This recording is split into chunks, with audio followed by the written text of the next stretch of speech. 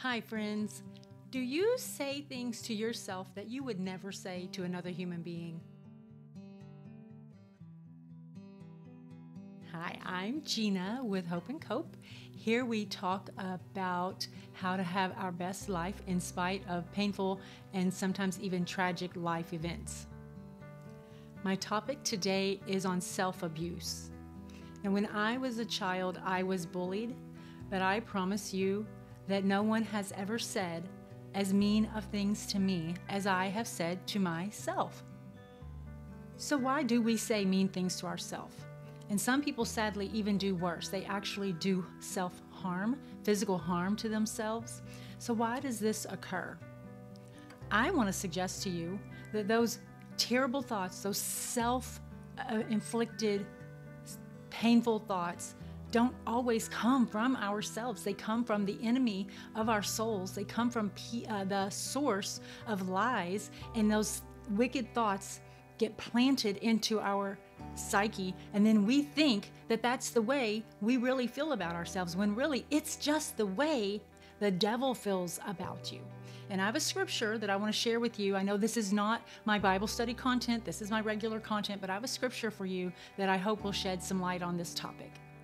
The Bible says in Revelations 12, verses 10 through 12, Then I heard a loud voice shouting across the heavens It has come at last salvation and power to the kingdom of our God and the authority of his Christ. For the accuser of our brothers and sisters has been thrown down to earth, the one who accuses them before our God day and night, and they have defeated him by the blood of the Lamb and by their testimony. I know no one's perfect. I know we always make mistakes, but I want to ask you if someone else made the mistakes that you make, would you be kind to them? If someone else had the shortcomings that you have, would you be merciful to them? Would you be able to be kind and gracious? Then why can't we be kind and gracious to ourselves? We're just human beings. And I had just built this whole life of self defeating thoughts and self abuse, verbal self abuse. And it didn't really come to light to me until my daughters were young and I caught myself saying really mean things, not just sort of mean things, but really mean things to myself in front of my daughters. And I saw that I was easily being a bad influence on my children. There's nothing like our own children walking around reflecting back to us our behavior to really see what our character flaws are. And I recognize that I could not continue to verbally abuse myself in front of my children if I did not want that to harm them. So I began to try to break those old habits, and it was extremely hard to do, but I did persevere. And now, for one, I don't even hardly have the negative thoughts, but if I do, I usually will say something like, oh, silly mommy, or, well, that was silly of me, but I don't say those really horrible, stupidest, ugliest, dumbest, worthless. I just don't say those hor- horrible, horrible things to myself, about myself, and verbally out loud to other people. I don't do that like I did when I was young. And I, I you know, I really try to just never do it, try to eliminate that behavior altogether. Tell me honestly if it helps anything when you abuse yourself verbally, does it help anything? Does it make you a better person? Does it make you straighten up? I don't think so. So instead of saying negative things, we need to fill our minds with the truth of God's word. We can quote not we don't have to quote scripture, but just know scripture and be able to say those things to ourselves. For one, there is the scripture that talks about we are fearfully and wonderfully made by God. The Bible tells us that we are made in His image, that we are His workmanship. That means we are His work of art. The Bible says that God did not give us a spirit of fear, but of power, love, and a sound mind. So these are the things we need to say to reinforce to us who we are, what our value is in Christ, and to retrain our brains to not to not engage in negative self-talk. In addition to reinforcing those biblical principles to ourselves, ask yourself what are your good qualities? Please don't say you don't have any. That's a real sign that you are detached from the truth of who you are. Maybe you need help. Maybe you need to talk to a trusted friend, uh, an adult son or daughter, a neighbor, a church friend. a sister, a brother, someone, and say, What are my good qualities? Please tell me just a couple of characteristics that I can begin to build on. Am I trustworthy? Am I honest? Am I kind? Am I creative? Am I um, generous?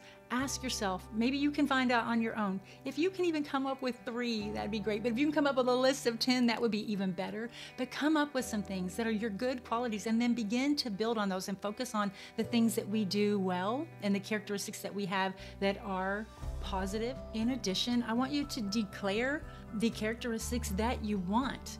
You know, if you say, I am not creative, then I assure you, you won't be creative. But if you say, I am creative, that really does cause those creative juices to be able to flow in your mind.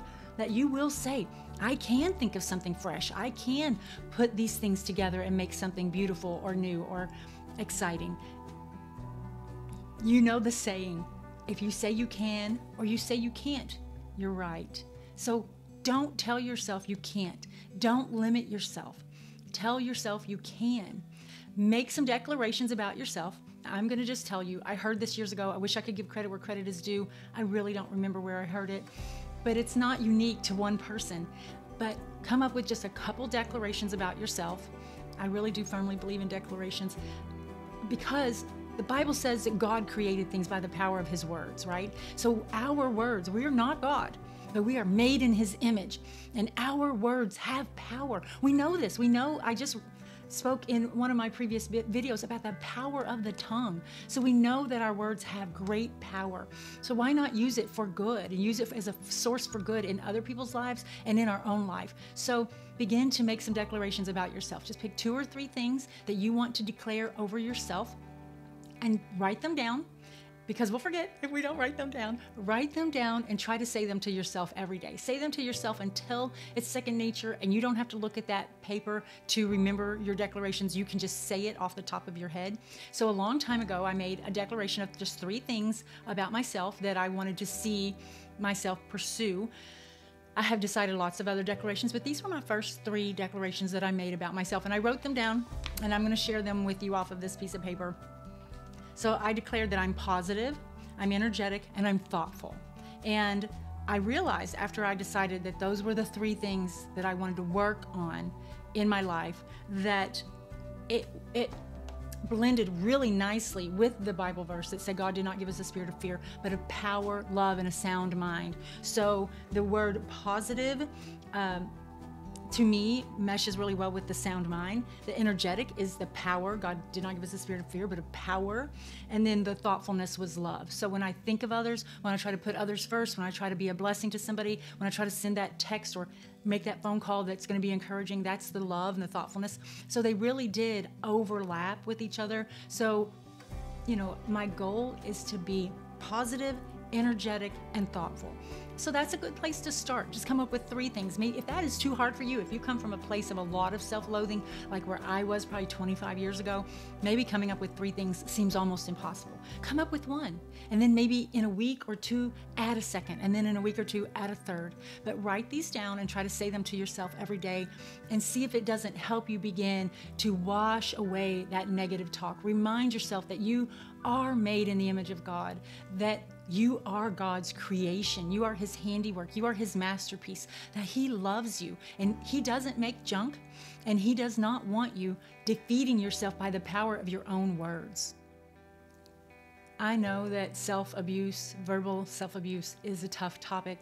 I also know that it would be virtually impossible for us to abuse someone that we really loved and respected. So we've got to dig down. We've got to love ourselves because God first loved us. We've got to love ourselves because we were found worthy by God to be redeemed by the blood of His Son. And we've got to try to depose those negative thoughts and replace them with the truth of God's Word. And I know this is not easy. It's a process. It takes years and it takes prayer and it takes diligence and it takes deliberately going back and saying, That was not true. I am not stupid. I am not stupid. I am smart. I just made a mistake. And counter, talk back to yourself and tell yourself the truth. You've got to start speaking the truth to yourself. And the truth is not that you're worthless. It's just not. Absolutely not. That is a lie straight from the pit of hell. And remember the scripture that we just read together about the accuser of the brethren. Day and night, day and night, he accuses us to the Father and to ourselves. He accuses me of being worthless, of being lazy, of being stupid, of being a failure. These things he tries to accuse me all the time. And I have just built the armor and I just refuse to listen to those things anymore. I, I, I decide, I deliberately, intentionally listen to the things that God says about me. In spite of my mistakes, I'm not saying I don't make mistakes. I'm just saying that I'm more important than my mistakes. If you have actually crossed over and you don't just say mean things, but you actually do physical self harm, I just want to encourage you to seek help. You are worth the work. You're worth, it's worth the help. Trust me, that kind of physical self harm or even the verbal abuse, it's not helpful. It will not propel you in life in any positive way. If you want to get off of the negative track that you're on, you are going to have to take a leap of faith, do something courageous, and begin to do things differently than you have in the past so that you can get off of this wicked, wicked downward spiral of self abuse and self negative talk. I hope this was helpful. I know, again, this was just another heavy topic. It's always my goal to bring value to you through these videos, so I hope, really hope, that this is reaching out and touching someone in a meaningful way. I also always put a song and a Bible verse in the description box. If you want to stay around, check that out. If this was helpful, please tap that like button for me and share it with a friend. I'm putting out content twice a week these days, so be looking for that. And remember, I love you and I'm praying for you. God bless.